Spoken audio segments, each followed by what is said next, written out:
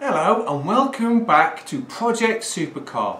Now if you're new to my channel I want to take this 2.7 twin turbo V6 out of this Audi and put it in my DIY supercar and today we're going to carry on stripping the wiring loom.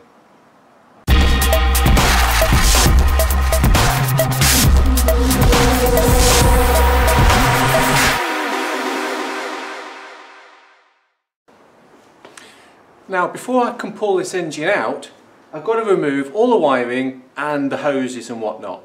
Now originally I was thinking about lowering the engine down onto the subframe, in other words lifting the body up but there is an issue, it looks like the uh, turbo piping won't clear the side rails. I'll uh, bring the camera in and show you.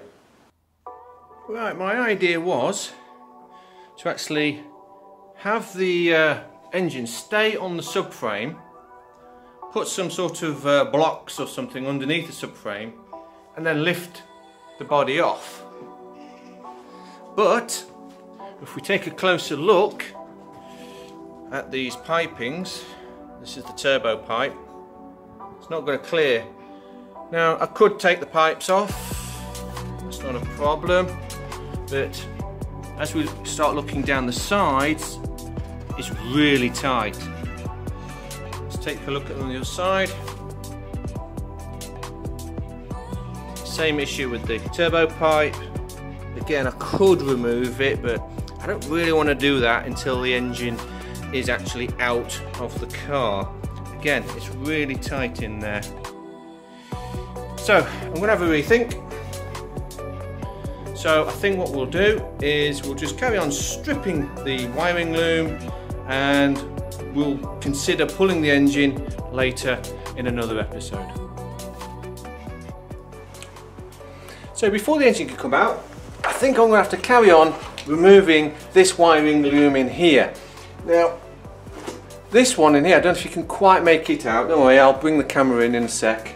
It appears it uh, bolts to the alternator deep inside the engine here. So I think what I'll do, I'll jack the car up, see if I can get underneath and trace where this loom actually goes.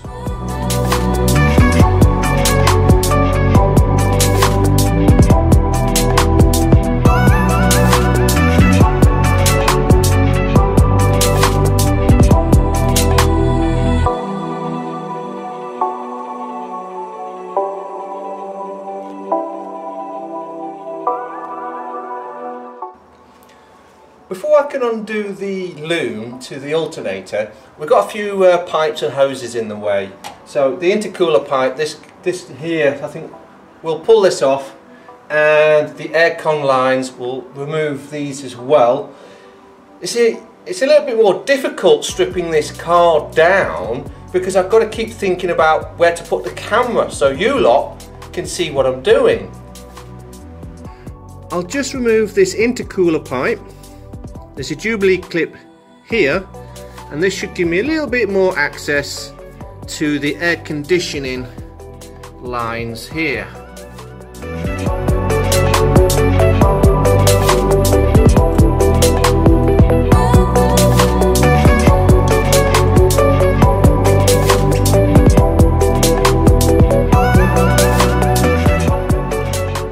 I'll just remove the intercooler pipe from the other side of the engine there's a Jubilee clip just tucked there.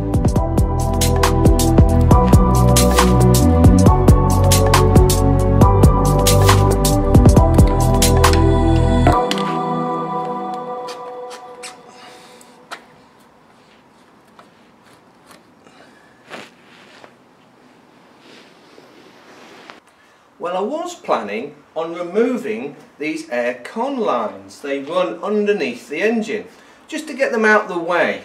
But I've hit a snag. If we follow the air con lines, you'll notice they pass under the engine. Actually, underneath the sump. And they go all the way across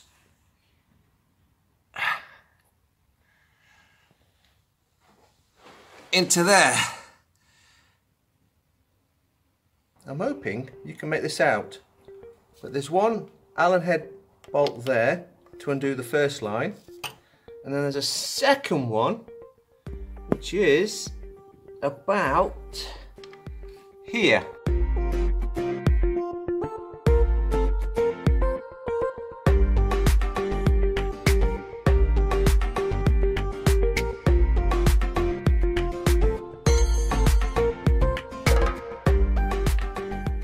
Except that is the exhaust manifold and I can't get an Allen key in there to undo this.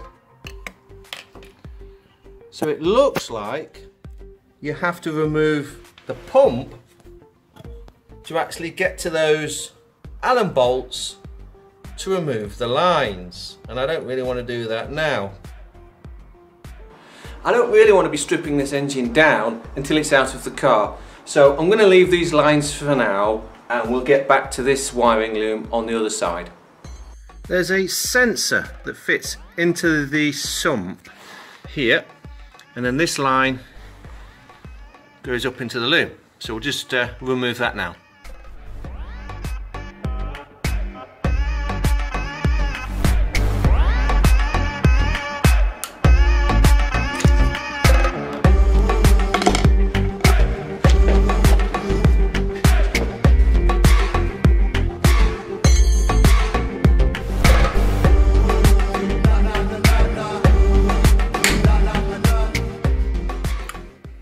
Remove this earth line here and this will give me access to this connector on the back of the alternator. And that just simply bolts to the chassis, which is there.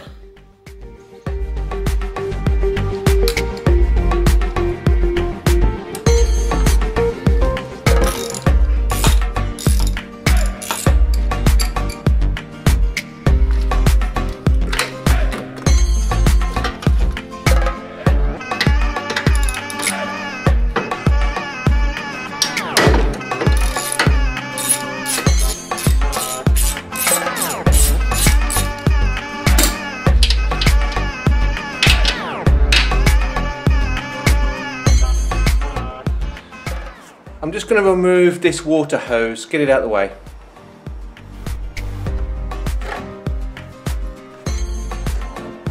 Ugh. Yeah, there's some grime on this engine. Okay, this is getting a little annoying now.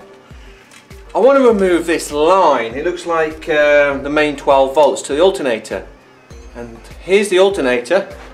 But can I get a ratchet in there to undo that nut? I can't even feel it. I might actually have to pull the alternator off so I can get to the nut to undo the line. That's a pain.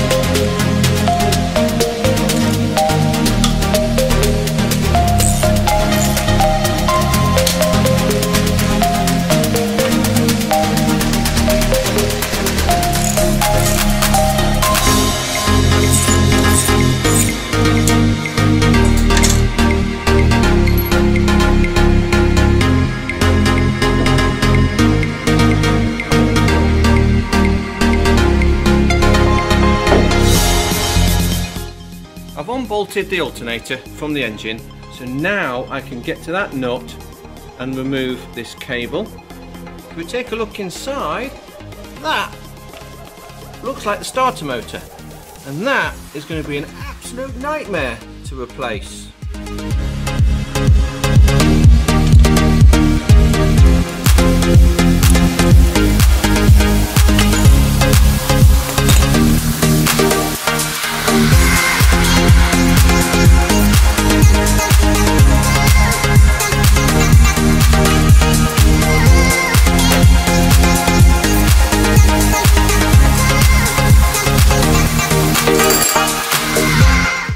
So the starter motor and the alternator have been unbolted.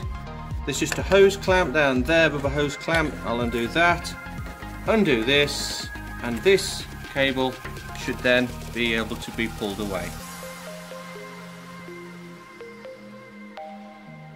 Get this hose clamp off so I can remove this cable, I've got to undo this Allen bolt underneath the sump, which is, see it, there, just where the tip of my screwdriver is, so you've got to undo that one there. Actually, it's a bolt behind that bolt I pointed to with my screwdriver, and you can't get to it. It's insane. I don't know what Audi was thinking about, but oh my god, this is a pain to get to. Let's see if I can try and show you.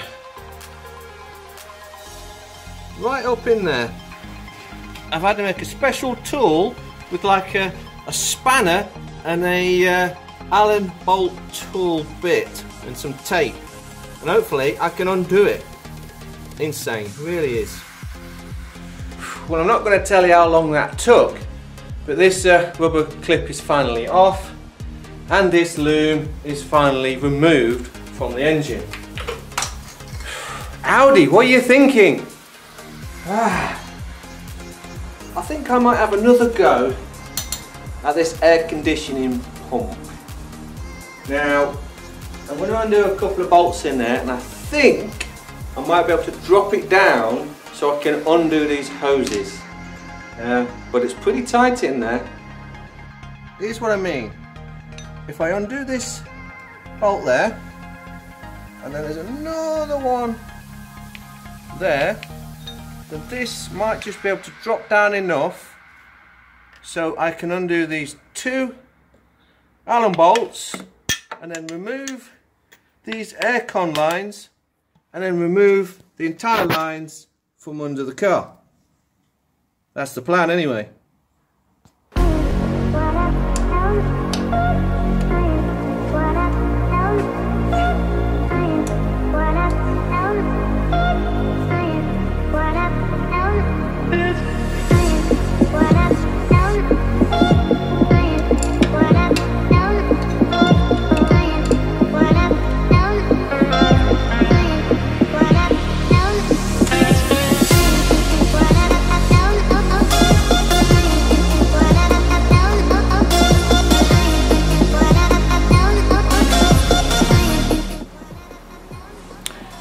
No, that didn't work. I undid those two bolts and it's not shifting. I think there's a third bolt at the back which I just can't get to.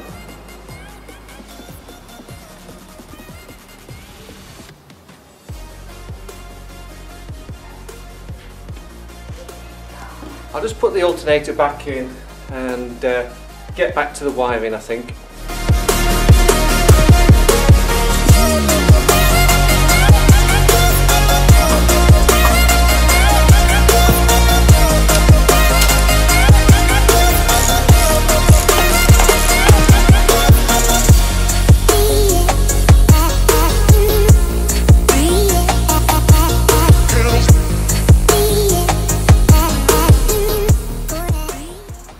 Just get this loom out, undo these plastic pegs here, and it should all come undone up to about here.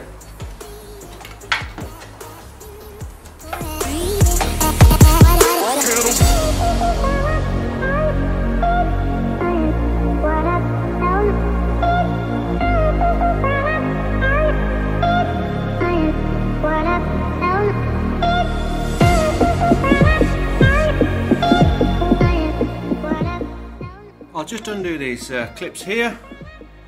So I should be able to remove this cable that passes through the bulkhead and underneath these connectors.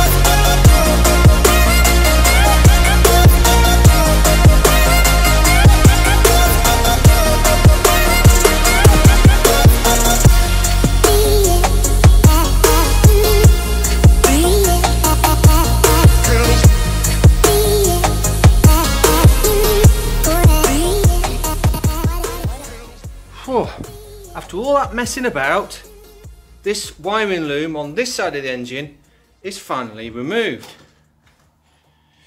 Now it's a bit tight down there and I really want to be disconnecting all those connectors once the engine is removed so I can get the camera in and show you everything. So I think that'll do on this loom. I'm just going to clean these up, tag them up so I know where everything goes and then put them away safe. And I think what I'll do is I'll just remove that just because it's been bugging me. I just want to remove this pollen filter. I think it's bust anyway. So, well, there's the filter. No good. And it looks like there's three nuts in there and then this plastic tray should lift out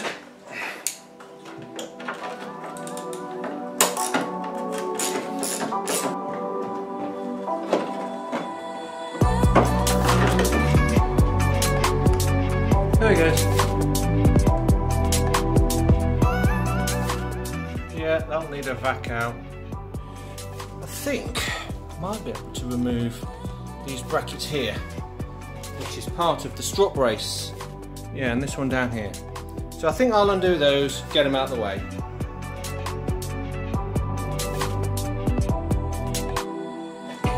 Couple of 16 mil bolts